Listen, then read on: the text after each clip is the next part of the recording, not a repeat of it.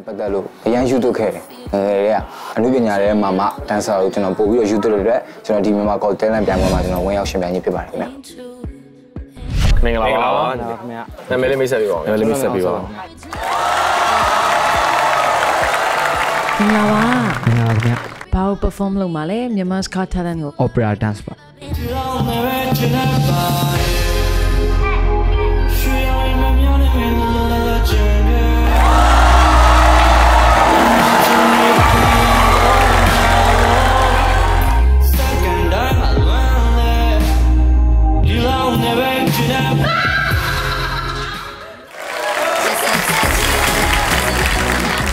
မောင်ထစာကတော့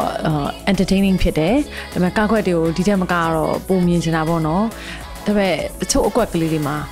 အချိုးသွားတဲ့ဟာမျိုးလေးတော့မောင်ထစာသဘောကျပါတယ်ဒါဆိုလို့ရှိရင်မောင်ထစာတို့ vote ပေးတော့မယ်လေနော်နောက်တစ်ဆင့်မျှော်လင့်ပါတယ် yes ပါ yes ပါ and one loss and no ပေးလိုက်ပါတယ် yes sorry ဟော okay ညီလေးနောက်တစ်ခေါက်ကြလို့ဘယ်လိုမျိုး creation လုပ်ဖို့စဉ်းစားထားလဲညီလေး ဒီဇလန်အဆက်နည်းနည်းထက်ကြမ်းမယ်။အော်ထက်ကြမ်းပြီးထက်လောက်ပါ။ဒီကထက်ကြမ်းမယ်။ Okay ကဲစက်ကန်ကောင်းနိုင်ပြီပါပြီနော်။ဘိုင်ဘိုင်